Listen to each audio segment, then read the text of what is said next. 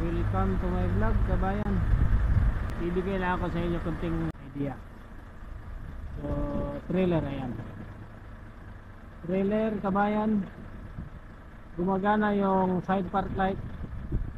Okay. Pero pagdating dito sa tail light, tingnan nyo. Ano nangyari? Tail light, kabayan. Naka-signal light pero sumasama yung brake light. Brake light kasi to. Ito yung parking light. Tingnan niyo po pati ito. Po.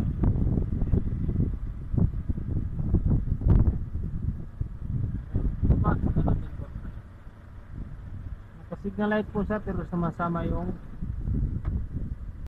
tail light. Sumasama po.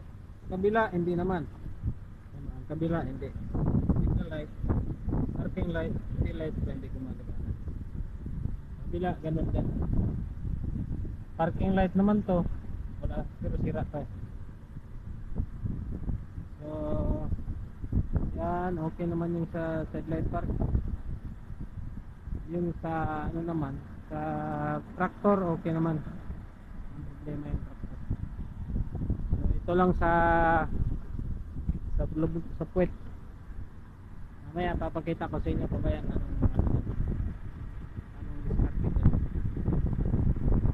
Kasi minsan kaya sa akin dati kabayan bago baguhan din ako. Eh yung ganyang trouble nahihirapan ako mag mag-trace. Pero nung tinitrace ko naman sa wire niya, hindi naman nagkadikit yung signal light saka yung brake light or park light. Hindi nagkadikit yung wire. Pero ba't siya gumagana? Ba't bakit eh sumasama siya sa parking ano signal light? Uh, papakita ko sa inyo nung kabayan. So, ayan po, kabayan. Ang problema noon kanina, ito, yung body ground po niya, yung wire niya dito, naka-body ground po yan dito.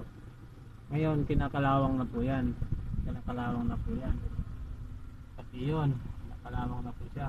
Kaya, hindi siya nakakakuha ng magandang body ground. Kaya ang nangyari sa ilaw, naka-signal light siya, hinahatak na yung ilaw ng stoplight. Tinahatak niya kasi kumukuha sa ground doon eh. Malakas kasi ang signal light ng bayan. Parang ginagawa niyong relay yung supply nung ano. Kaya nagiging binabatak niya yung ano ng tail light para umiilaw yung signal light maliit na problema lang po to kabayan. Body ground lang po ang kulang nun kaya siya nagbibing pero malaking bagay po yan sa ating mga kababayan na kakaumpisa pa lang ho at bago lang ho matu- matutong maging mag-electrician ng truck. Gaya ho sa akin dati ganun din po. Na hirapan po rin ako sa unang una so yun lang po kabayan. Ang gagawin natin yan yung body ground niya yan yung ano yan. Lilinisin po natin yan kasi kinakalawang na po eh. Hindi na po siya makakuha ng magandang body ground sa kaya lilinisin po natin yan.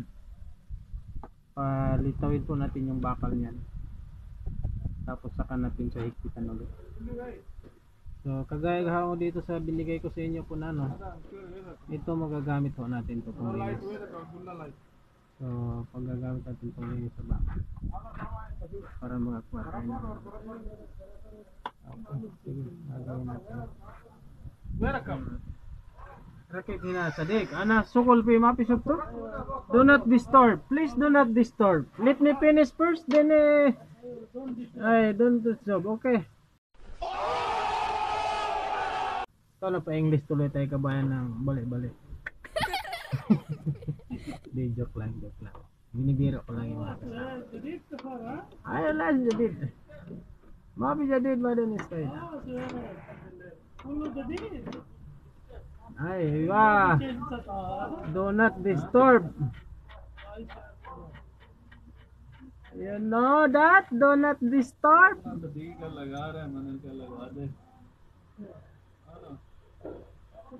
Nam?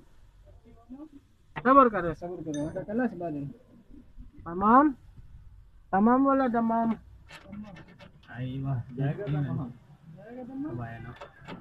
Yan yung purpose doon sa DIY ko kabayan na tester. Kasi panglinis ko ho yan ng bakal.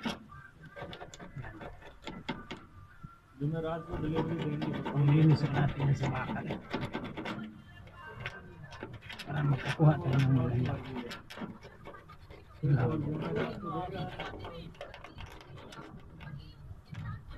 So,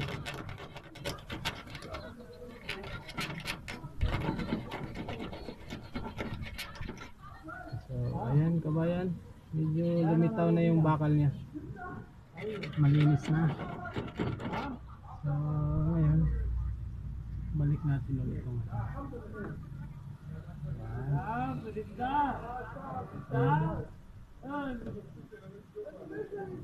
ano? Lagyan natin ng warga. So, ayan, higpitan na natin, nalagyan natin ng warga.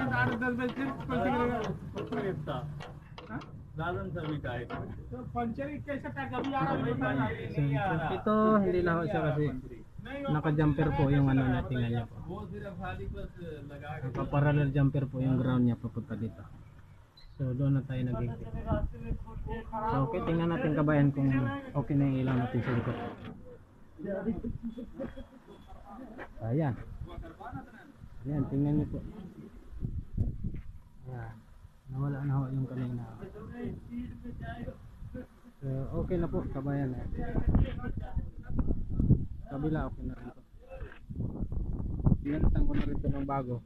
Ayan, dalawa. So, okay. Bigay ulit ako sa inyo ng alaman.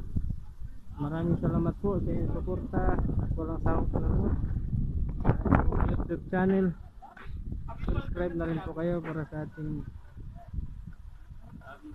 mga videos na i-upload. Maraming salamat po. Please like, support, and subscribe my YouTube channel. Thank you, thank you po.